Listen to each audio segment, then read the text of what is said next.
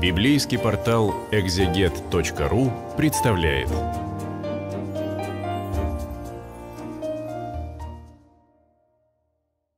Четвертая глава послания к филиппийцам для библейского портала «Экзегет». Ну, она последняя. В последних главах Павел часто переходит к личным приветствиям. Это очень важно. Вот нам кажется, что Э, ну, зачем это все? Он же пишет как эм, а, апостол, как, собственно, руководитель этой общины. Еще там в конце передавать приветы.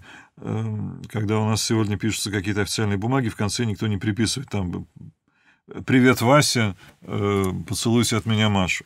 Но если это община, то в этой общине конкретные живые люди, и Павел не отделяет обращение к э, этой общине как единому целому от обращения к отдельным дорогим, близким ему людям.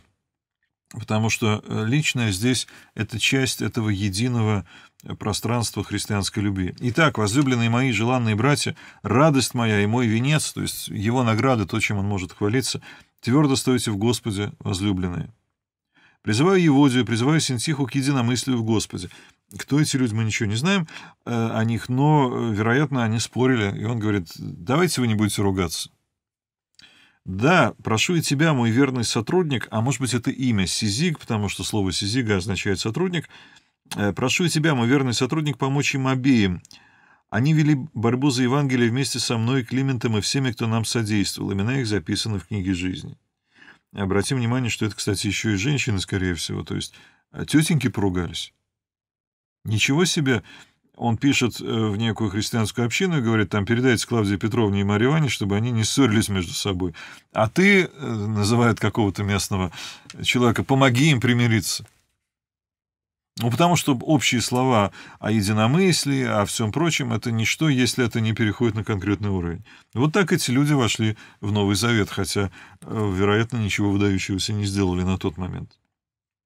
Всегда радуйтесь, Господи. И снова скажу, радуйтесь. Вот эта его тема в филиппийцах э, постоянная, не подробно он об этом говорит, но э, без конца он говорит «радуйтесь, радуйтесь, радуйтесь». Это, с одной стороны, формальное греческое приветствие, «хайре» по-гречески, да?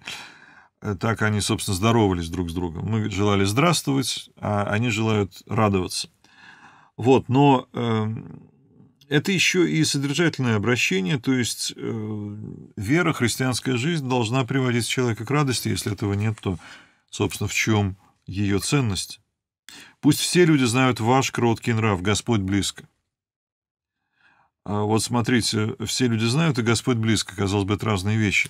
Но если Господь близко, ну, может быть, Он здесь ждет скорого второго пришествия, может быть, говорит еще и о том, что в любом случае Господь с нами, Он э, следит за тем, что происходит, и для Него это не безразлично. Тогда наше отношение к другим людям, наш кроткий нрав, собственно, и есть то, чего Он от нас ждет.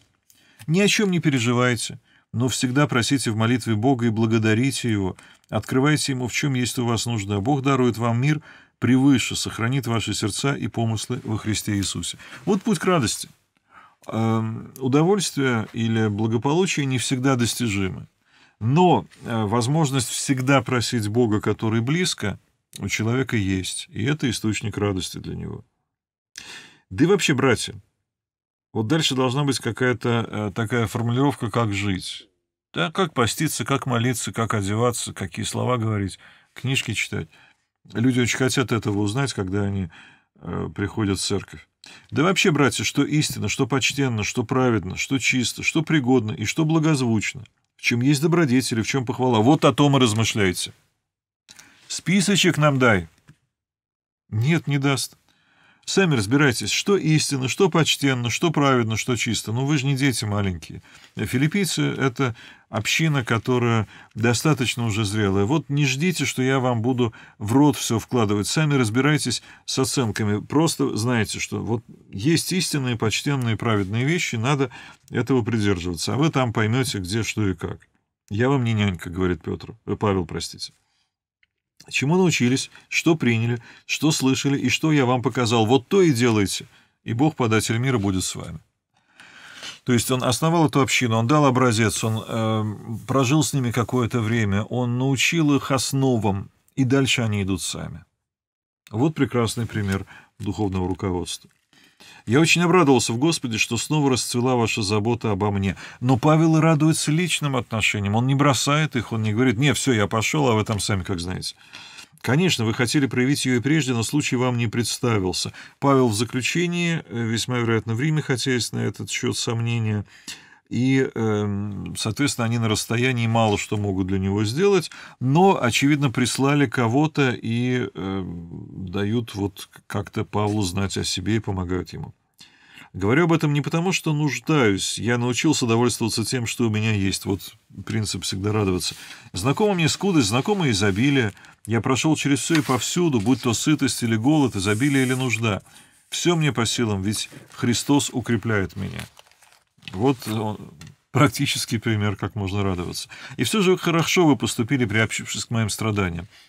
Как приобщившись? Ну, то есть, э, приняв какое-то участие, передали там посылочку, письмо какое-то. И, вероятно, их молитва для него очень много значит. Сами ведь знаете, филиппийцы, когда я начал проповедовать Евангелие, оставив Македонию, никакая другая церковь не общалась со мной в том, что касалось сборов и раздач, только вы. Македония — это римская провинция, в которой Филипп один из главных городов, и, э, соответственно, отправившись дальше, Павел нуждался в средствах. Ну, в конце концов, ему надо было на что-то жить, и путешествия тоже не бесплатные и тогда были. Э, и вот э, филиппийцы — единственная община, которая собирала на это средства, чтобы его поддержать. И в Фессалоники вы мне посылали, что требовалось, и единожды, и дважды. Другой город там неподалеку. Но я не подаяние от вас добиваюсь, я добиваюсь, чтобы принесенные вами плоды шли на пользу вам самим. У меня есть все, и даже более того, я получил от Эпофродита ваши дары, Эпофродит, который приехал к нему, судя по всему, туда в заключение от филиппийцев, э, ваши дары как жертву благоуханную, приятную и угодную Богу. То есть их э, Дар — это жертва Богу одновременно. И мой Бог сполна наделит вас всем, в чем вы нуждаетесь, по своему славному богатству через Иисуса Христа. Богу и Отцу нашему слава во веки веков. Аминь. Э, и заключительное приветствие. Приветствуйте всякого, кто свят во Христе Иисусе, а вас приветствуют те братья, кто здесь со мной. Приветствуют вас все святые, а в особенности те, кто из дома Кесаря. А вот именно поэтому, скорее всего, он пишет из Рима. Э, дом римского императора, у него, конечно, огромное эм, количество всяких сотрудников, рабов, э, домочадцев. И, с другой стороны, дом Кесаря — это, может быть, название и служители императора, э, которые его личные посланники в других местах Римской империи. Но, вероятнее всего, все-таки он пишет из Рима. И, значит, христианская вера уже проникает, собственно, в императорский дворец. Благодать Господа Иисуса Христа со всеми вами. Заключительная формулировка. Вот это была последняя глава послания к филиппийцам.